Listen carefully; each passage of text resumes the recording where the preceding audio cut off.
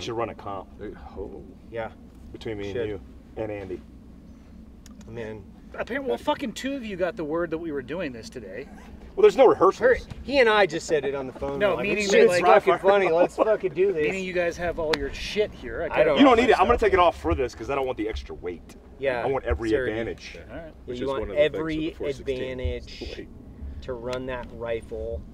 Okay, let's fucking run them. But you need a modified, um, because you know you you do the the what the can I must- can I say that word? I'm not saying any words. Okay, But you can we say do a whatever you'd like. qualification, like. a vetting Yeah, yeah, process. yeah. And you guys used to run it. I mean, you you were my instructor at a place known as like the ranch, but Yeah.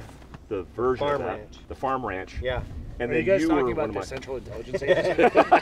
And Yeah. might this be the call? Yeah.